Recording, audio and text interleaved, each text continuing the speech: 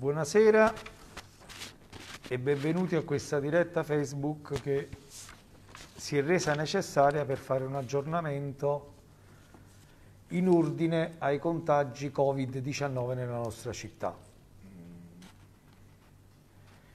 Si è resa necessaria perché sono rimbalzate notizie un po' amplificate, molto spesso non verificate, in una situazione pure abbastanza difficoltosa dal punto di vista della certezza delle notizie perché eh, mi dispiace doverlo fare, ma eh, è un po' questa parte che eh, l'azienda sanitaria locale Napoli 3, ma devo dire un po' tutte le aziende sanitarie locali della Campania, non hanno oh, la stessa intensità di attività che hanno avuto nella parte nel periodo un po' più acuto dell'emergenza pandemia.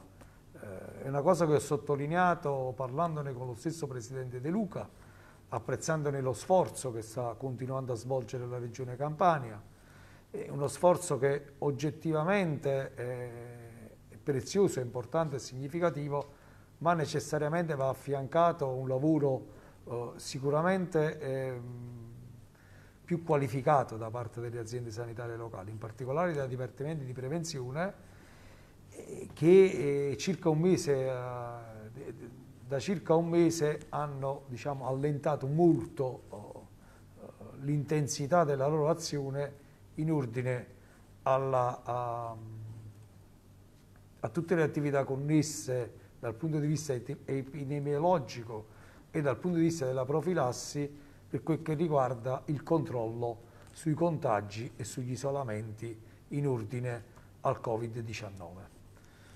Non è un atto d'accusa, ma vuole essere solamente una constatazione e un incitamento a riprendere eh, una certa attività, soprattutto a potenziare ed adeguare i dipartimenti di prevenzione, le unità operative di prevenzione collettiva di ogni territorio, di ogni città, perché oggettivamente per come sono articolate e per come sono organizzate è chiaro che non avrebbero mai potuto reggere quei ritmi, perché con un numero di personale completamente inadeguato, eh, prima o poi sarebbero scoppiate totalmente, cosa che purtroppo è avvenuta, tant'è vero che insomma eh, abbiamo una serie di difficoltà. Veniamo agli aggiornamenti. Intanto le notizie positive.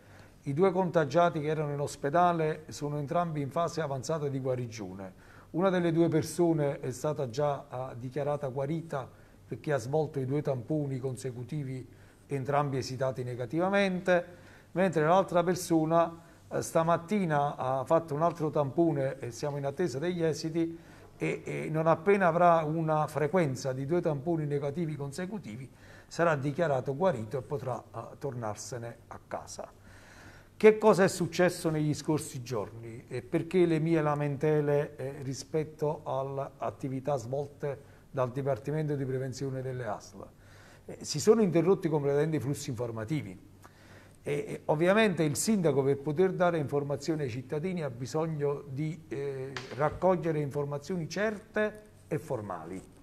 Quindi comunicazioni che siano formali, formali significa che ci siano dei protocolli, delle note ufficiali, altrimenti diventa uh, un problema uh, diffondere notizie che non sono poi state verificate, non sono state validate ufficialmente dagli organi competenti.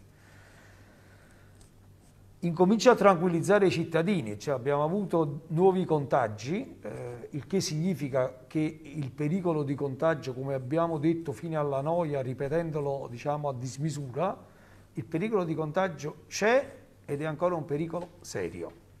È molto facile ancora contagiarsi. È quindi necessario che ci siano quelle forme di prudenza, tutte quelle misure di protezione, perché i DPI, i dispositivi di protezione individuale, si chiamano così proprio perché servono a proteggerci. Proteggerci dagli altri, quindi dal rischio del contagio, ma soprattutto proteggere gli altri dal rischio di ognuno di noi, di cui ognuno di noi può essere vettore. Veniamo ai contagiati. Eh, abbiamo eh, riscontrato nuovi sette contagi a Portici che sono articolati in tre nuclei familiari, tutti e tre collegati in un unico ceppo familiare, che significa che non c'è un focolaio. È molto facile che questi contagi si siano in qualche modo eh, trasferiti attraverso degli incontri tra le stesse persone. Tutti i tamponi effettuati eh, alle, ai contatti stretti che sono stati eh, registrati eh, rispetto ai sette positivi sono tutti tamponi esitati negativamente. Quindi non c'è un focolaio, immediatamente si è circoscritto il contagio. Le persone contagiate immediatamente sono state poste in isolamento, ma già da diversi giorni.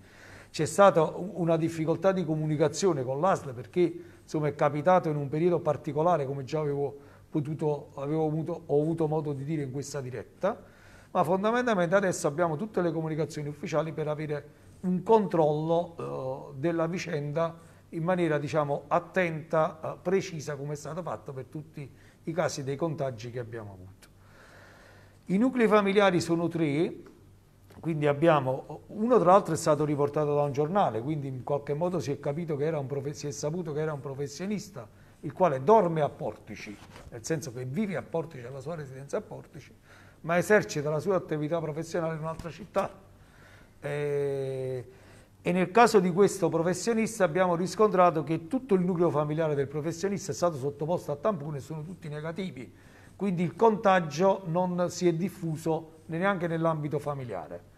Abbiamo poi un altro nucleo familiare eh, composto da, da, quattro persone, anche qui eh, c'è eh, uno dei, dei, dei due adulti di questo nucleo familiare eh, svolge, una libera svolge una professione, eh, in particolare una professione sanitaria, è risultata positiva. Molto probabilmente questa positività, questo contagio sarà avvenuto o nell'ambito familiare o nel luogo di lavoro.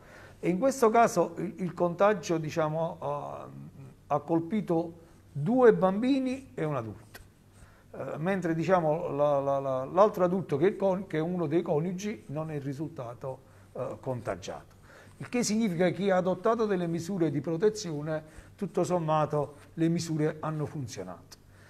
Abbiamo l'ultimo nucleo familiare di contagiati in cui sono contagiati fondamentalmente tre persone, mentre un minore convivente è risultato negativo alla test del tampone.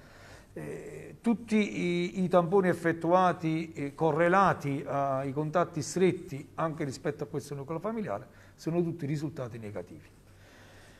Che cos'è che ci tranquillizza? Cos'è che ci ha fatto, diciamo, come dire, aspettare qualche giorno in più per poter fare una comunicazione più efficace?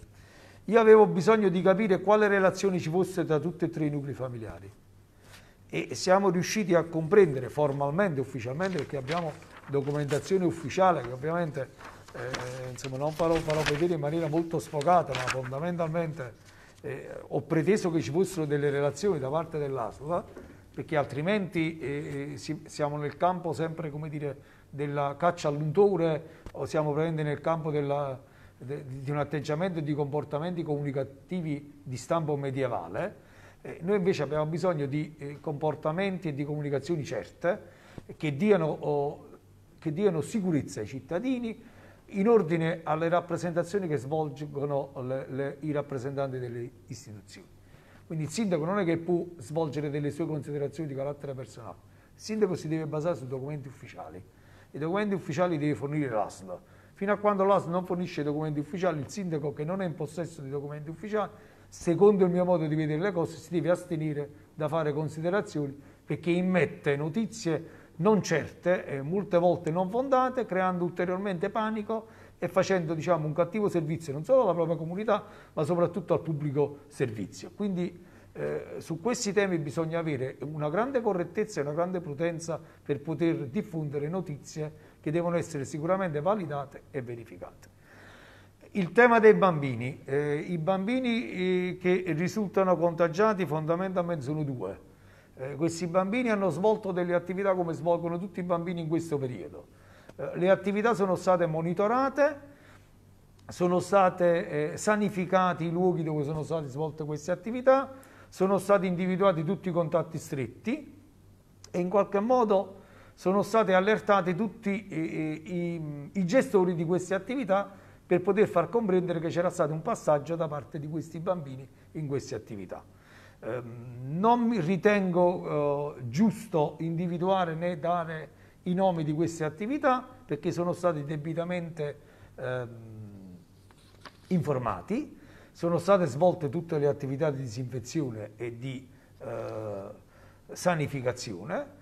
Eh, poi i, gestori con grande prudenza e con grande discrezione hanno informato diciamo, tutti quei presumibili contatti stretti che abbiano potuto avere rapporti con quei bambini in quei determinati giorni in cui potevano essere eh, ritenuti contagiosi.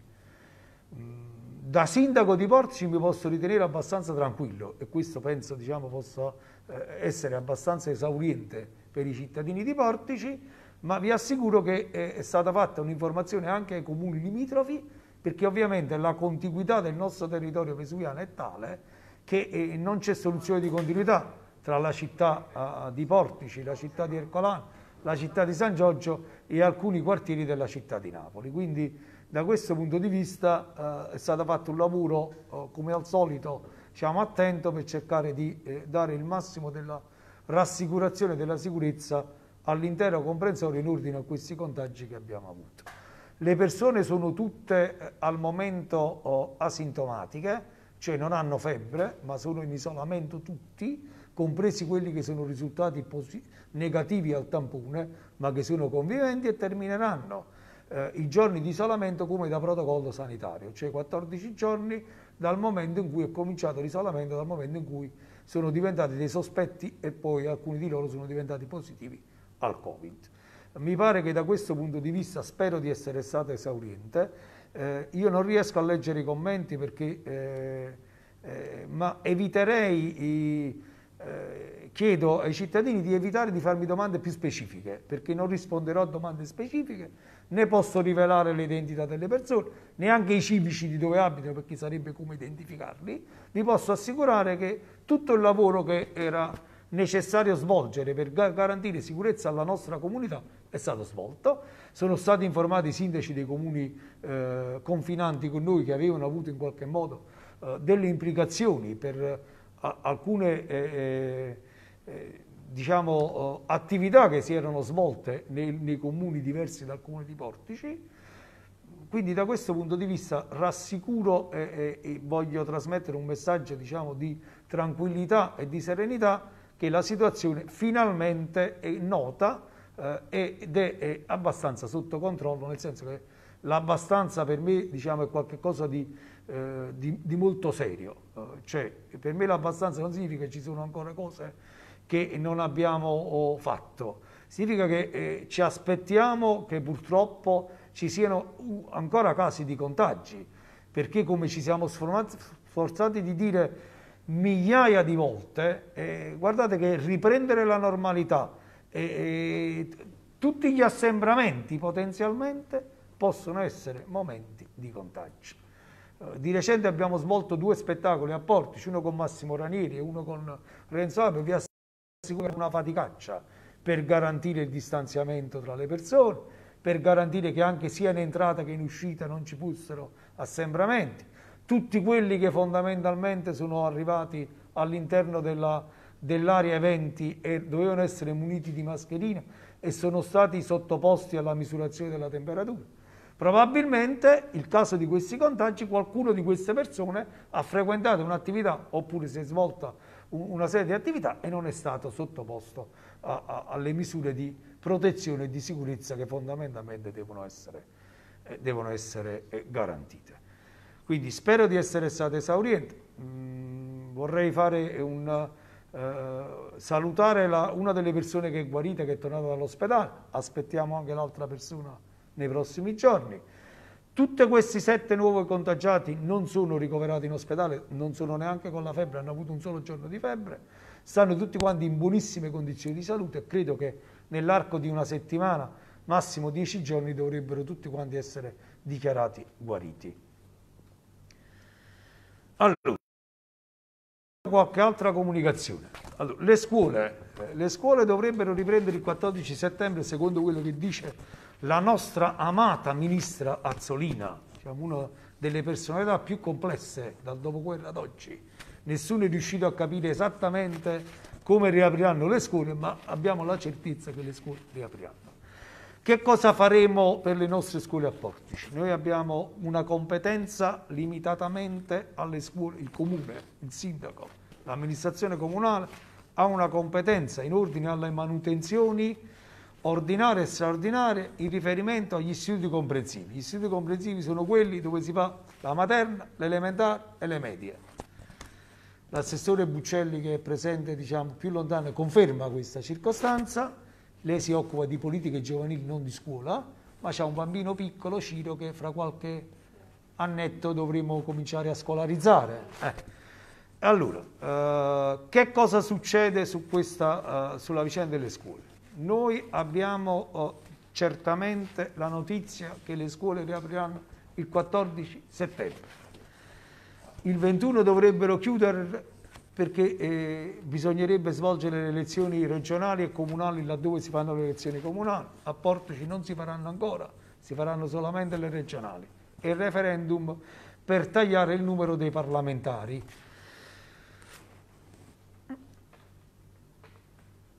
Il ministro Azzolina si è assunto l'impegno di comprare in tutta Italia i banchi monoposto circa 3 milioni di banchi che dovranno non solo essere comprati dallo Stato, quindi dal Ministero, ma dovranno anche essere consegnati in ogni singola scuola. Sinceramente, oggi ne abbiamo 4 agosto, non so come e se il Ministro riuscirà a eh, garantire questo tipo di fornitura. Io ho molti dubbi che ci riusciranno. Che cosa aspetta invece fare ai comuni? I comuni hanno avuto dei fondi eh, molto molto limitati, anche qua hanno detto una marea di bugie. Pensate che il Comune di Portici ha fatto una richiesta per questi fondi, ha avuto attribuito 310 mila euro di fondi da dividere in 14 plessi scolastici. I cinque istituti comprensivi sono articolati in 14 plessi scolastici. Abbiamo fatto delle riunioni con i dirigenti e con i responsabili della sicurezza di ogni singolo istituto comprensivo e abbiamo definito un certo numero di interventi, tra virgolette, definiti di edilizia leggera. 310.000 euro, se li dovessimo dividere in maniera paritaria tra tutti i 14 prezzi scolastici, ci renderemo conto che non avremmo diciamo, una somma necessaria per poter manco immaginare di fare qualche cosa che abbia a che fare con un'organizzazione di carattere manutentivo delle scuole messi, siamo messi d'accordo per trovare diciamo, degli interventi di, di realizzare delle tramezzature o di realizzare degli interventi di edilizia leggera per garantire nelle aule un minimo di distanziamento sanitario tra gli alunni, secondo le esigenze rappresentate dai dirigenti scolastici. E sulla base di quelli eh, domani scadrà una procedura di gara eh, cosiddetta ristretta, diciamo, con termini abbastanza abbreviati, per dei lavori che dovrebbero cominciare il prima possibile, probabilmente non oltre il 24 agosto, per garantire che all'inizio dell'anno scolastico siano effettuati questi interventi. Che cosa uh, va, va, detto ai nostri cittadini? Eh, ancora c'è un balletto diciamo, sulle, eh, sulle norme e sulle linee guida che garantiranno la sicurezza dei nostri bambini nelle scuole Sembrerebbe eh, diciamo che l'uso della mascherina lo, lo stiano definendo in queste ore, in questi giorni. Ci atterremo ovviamente alle decisioni che assumerà il Ministero della Salute e il Ministero dell'Istruzione, i due ministri ci diranno con provvedimenti formali come ci, ci si organizzerà nelle scuole. Eh, tengo a precisare che gli istituti scolastici superiori non rientrano nelle competenze del sindaco e dell'amministrazione comunale, ma nelle competenze della città metropolitana. Quindi tutti gli interventi di carattere edilizio che riguardano il liceo Flacco, il liceo Silvestri, la succursale, l'ITC Carlo Levi, il, l'Enriquez, riguardano o, o, non sono di competenza del comune, bisognerà rivolgersi alla città metropolitana di Napoli che sarebbe l'ex provincia. Altro tema tutti gli interventi eh, che riguardano l'igiene nelle scuole non sono di competenza dei comuni. L'igiene nelle scuole è di competenza direttamente del Ministero dell'Istruzione, che svolge queste attività per il tramite del direttore regionale dell'ufficio scolastico regionale, che è la dottoressa Luisa Francese, che saluto, una persona molto educata e molto gentile, e dei dirigenti scolastici dei singoli istituti. Quindi se le scuole hanno una scarsa igiene, perché non puliscono adeguatamente, non bisogna rivolgersi al sindaco, bisogna rivolgersi direttamente al dirigente scolastico.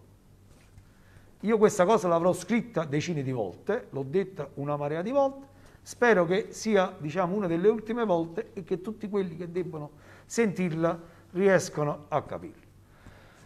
Che cosa succederà per i servizi di competenza comunale? Per esempio la refezione scolastica. I dirigenti scolastici nei singoli consigli di istituto ci hanno chiesto che, viste le condizioni diciamo, emergenziali nelle quali cominceranno le attività scolastiche, che la refezione possa iniziare non prima del mese di novembre, proprio per garantire un tempo tecnico di organizzazione della scuola sulla base delle nuove norme Covid. Ovviamente la refezione scolastica in tempi di emergenza Covid sarà una cosa abbastanza complicata, quindi eh, questo tempo ci, eh, ci, è utile sulla base delle richieste delle scuole anche per capire come eh, riorganizzare, come organizzare il servizio di refezione in funzione diciamo, delle norme Covid. Eh, non so se c'era qualche altra domanda che riguardasse le scuole, credo di no. Eh, spero di essere stato sufficientemente chiaro e passerei diciamo, a una, una breve tematica di carattere, tra virgolette, socio-economico. Allora, abbiamo erogato tutti gli assegni di cura eh, ai malati gravi e gravissimi secondo la scala Bartelli. Per quanto riguarda il per quanto riguarda invece tutta la questione del bonus Covid eh, portatori di handicap disabili e per quanto riguarda il bonus Covid per i diritti, ho buone notizie. Le buone notizie sono eh, che la Regione, eh, il Presidente De Luca ha avuto la sensibilità insieme alla Giunta regionale di mettere ulteriori risorse, di aggiungere quindi alle risorse che già erano state assegnate ai comuni altre risorse. Questo consentirà di avere un ampliamento della graduatoria per quanto riguarda i bonus fitti, quindi dovremmo soddisfare non so se tutta la platea, ma buona parte della platea dei richiedenti. Ovviamente stiamo parlando di quelli che non hanno imbrogliato, cioè quelli che hanno dichiarato quello che realmente è, perché stiamo riscontrando un po' di domande, diciamo, uh, di imbroglioni, eh, gente che imbroglia oppure finge di non sapere oppure proprio non sa e eh, fanno dichiarazioni mendaci che vengono punite non solo con una sanzione di carattere economico, ma anche con una denuncia penale davanti alla Procura della Repubblica. Quindi facciamo attenzione, chi ha sbagliato andasse a ritirare la domanda cercasse di trovare un modo per rettificare la propria domanda.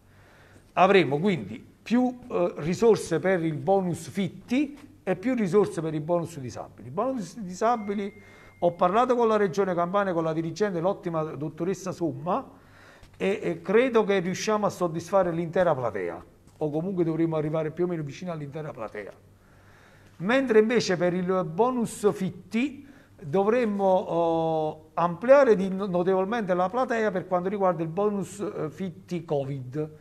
Poi abbiamo collateralmente la gradatoria anche della legge 431, che è il sostegno alla locazione. Dovremmo, oh, cioè, ovviamente la, la norma dice che noi dobbiamo dare al beneficiario il eh, contributo maggiore, il che significa che gli uffici stanno riallineando un po' tutte le domande per capire qual è il contributo maggiore tra quelli che hanno fatto entrambe le domande. Quindi un po' di pazienza, credo che per il mese di settembre dovremmo concludere questo lavoro che è un lavoro difficile, complicato, quindi non rompete le scatole che continuamente chiamate gli uffici perché stanno lavorando esattamente per fare quello che serve al beneficio di tutte le persone che hanno chiesto questi contributi. Quindi un po' di pazienza, sono migliaia di domande, le persone che lavorano non sono tantissime e tra l'altro anche queste persone hanno diritto a prendersi delle ferie e quindi faranno delle turnazioni durante i mesi eh, estivi. Ma vi assicuro che con un po' di pazienza riusciremo ad avere un, un, un uh, lavoro completo, io credo che diciamo... Mh, nella prima decade eh, o massimo nella seconda decade di settembre. Credo che siamo un totale intorno a 1300-1400 domande, quindi insomma non, non è poco. I buoni spesa sono terminati col mese di luglio, adesso stiamo pensando a un bonus tra virgolette bebè, cioè un regalo che facciamo a, bambino, a ogni bambino nato nel 2020 a Portici, un regalo che prescinde dalla condizione diciamo, socio-economica della famiglia, proprio un regalo al, al, nuovo cittadino che è nato, con una rimanenza che, che, che abbiamo avuto di, di, fondi che c'erano stati assegnati, ci stiamo, stiamo studiando sulla buona esperienza fatta con il progetto Mille Giorni, stiamo pensando di fare un ulteriore sostegno diciamo, alla genitorialità, alla nascita, attraverso questo bonus. Um, non, non, non, credo che ci siano altre cose che riguardano uh, i, tutto l'aspetto socio-economico della Regione Campania, credo si sta facendo un certo lavoro anche per quanto riguarda il bonus idrico uh, della Cori, il bonus idrico della Cori prevede un, un, contributo Covid con dei risparmi sulle bollette, tra l'altro è una cosa che avviene credo ogni anno perché eh, se non sbaglio, ecco, per esempio c'è eh, insomma, questo opuscolo che può essere ritirato o può essere scaricato sul sito della Cori. La Cori crea molti problemi ai nostri cittadini, ma ogni tanto qualche cosa di buono pure la fa e quindi prendiamone atto e, e cerchiamo di incoraggiarli a fare sempre più cose buone. Ultimo tema che mi sta molto a cuore e che voglio, voglio dare una bella notizia, una buona notizia ai cittadini porticesi. Oggi la Giunta Comunale ha approvato uh, un provvedimento molto importante, eh, un'integrazione eh, del progetto di ripristino del, eh, dei muri fronti mare eh, con adeguamento delle opere di protezione marittima, parliamo dei lavori sul lungomare. I lavori sul lungomare sono in corso, eh, proprio perché i lavori sono in corso si è reso necessario oh, fare un'integrazione progettuale mettendo circa 3 milioni di euro da fondi regionali cosiddetti retrospettivi, quindi fondi esterni all'amministrazione comunale recuperati attraverso un prezioso lavoro fatto dall'assessore Iacore, dagli uffici tecnici, dall'assessore Cirillo e dall'intera giunta e l'intera amministrazione comunale, in particolare con la maggioranza consilare, i consiglieri comunali che ci hanno approvato decine di provvedimenti in Consiglio Comunale che ci servono a garantire i servizi ai cittadini e le opere di sviluppo della città. Sono quelli che votano in Consiglio Comunale che garantiscono questi servizi, sono quelli che sostengono i provvedimenti in Consiglio Comunale, quelli che riescono a garantire linee di sviluppo alla città. Certamente non sono quelli che scappano dal Consiglio Comunale senza assumersi mai una responsabilità, quelli cui dobbiamo ringraziare perché sicuramente loro non fanno nulla purtroppo per la città, neanche in termini di proposte, proposte ridicole che eviterò praticamente di commentare in questa diretta perché mi sembra veramente assolutamente sbagliato dare attenzione rispetto a cose che veramente insomma c'è qualcuno che mi ha proposto la ricostruzione del ponte Morandi per, per cercare di far andare dalla, dalla banchina alla, insomma siamo proprio abbiamo superato il ridicolo. Insomma non vale manco la pena di commentare. Atteniamoci ai fatti perché noi siamo persone che eh, eh, fanno la loro forza istituzionale soprattutto raccontando i fatti e non facendo annunci di chiacchiere che non servono a niente. Oggi la Giunta ha approvato un progetto di 3 milioni di euro che sarà un progetto che riguarderà un intervento di manutenzione finalizzato alla riconfigurazione dell'opera aggettata mediante rifiorimento e risagomatura della scogliera. Che significa? Davanti al lungomare noi abbiamo una scogliera sommersa che fu realizzata circa 15 anni fa. Ovviamente abbiamo avuto mareggiate molto molto forti nel 2018 mareggiate molto molto forti tra la fine del 2019 e l'inizio del 2019, prima del Covid. Ovviamente gli anni che sono trascorsi, le mareggiate che ci sono state, eh, i moti ondosi che sono stati abbastanza perpetui e comunque hanno creato un problema alla sagoma della scogliera, tenete conto che quando questa scogliera, fondamentalmente questa scogliera, eh, quando è, è stata eseguita, era invasata tra i 4 metri ed i 5 metri di profondità. Dai recenti rilievi batimetrici che sono stati eseguiti si sono riscontrati degli assestamenti della scogliera che hanno eh, rilevato degli scostamenti della sagoma geometrica che è risultante dal rilievo rispetto a quella di progetto. Cioè praticamente c'è stato uno spostamento della scogliera. Adesso questi interventi, quindi interventi all'interno dello specchio d'acqua che riguarderanno la scogliera, quindi la risagomatura della scogliera, la rifioritura della scogliera e tutta una serie di interventi che riguardano soprattutto la difesa della costa rispetto al moto ondoso, al mare. Sono interventi molto complessi che vanno fatti prima che l'appalto termini E proprio perché sono interventi molto complessi era molto importante ed è molto importante che l'amministrazione approvasse durante le attività di appalto il progetto di integrativo di questa opera eh, straordinariamente importante per la nostra città. Nei prossimi giorni, nonostante il mese di agosto, tra l'altro il mese di agosto è notoriamente un mese nel quale io personalmente utilizzo per lavorare proprio a questi progetti particolarmente gravosi e complessi, eh, ci saranno degli incontri in Regione Campania perché stiamo immaginando che alla fine del percorso del lungomare si possa realizzare una darsena nell'area di Pietrarsa, nell'area diciamo al confine col Museo di Pietrarsa. Noi stiamo immaginando, stiamo sognando delle linee di sviluppo della nostra città, perché noi amiamo la nostra città e quindi come tutte le persone che amano noi sogniamo le linee di sviluppo della nostra città, ma non sono sogni ad occhi aperti, sono sogni che immaginiamo di poter realizzare lavorandoci e quindi chiediamo soprattutto ai cittadini eh, la pazienza civica di saper attendere che le istituzioni facciano il loro lavoro. Io continuo a rivendicare di aver fatto la scelta giusta a limitare l'accesso alla spiaggia delle Mortelle. Quando ho cominciato questa diretta ho parlato di nuovi sette casi positivi. Nessuno di noi si aspettava sette casi positivi negli ultimi 6-7 giorni. Eppure ci sono stati, nell'ambito degli stessi, tra virgolette, nuclei familiari. Il che significa che la prudenza non è mai troppa. Il che significa che l'attenzione deve essere ancora un'attenzione maniacale.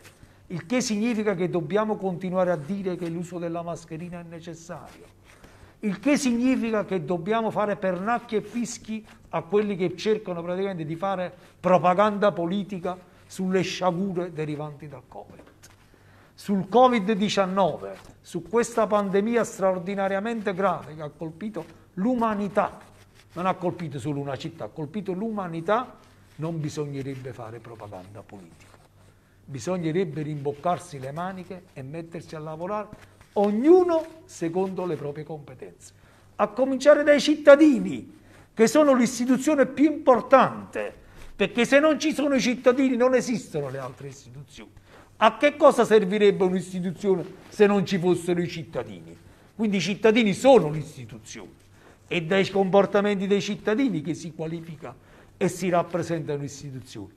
E io continuerò a ringraziare quei cittadini che degnamente si comportano come istituzione, perché sono loro quelli che danno l'esempio e sono loro quelli che tracciano la linea e consentono alle persone che hanno una funzione istituzionale e una responsabilità di esercitare al meglio il loro lavoro e soprattutto il loro ruolo.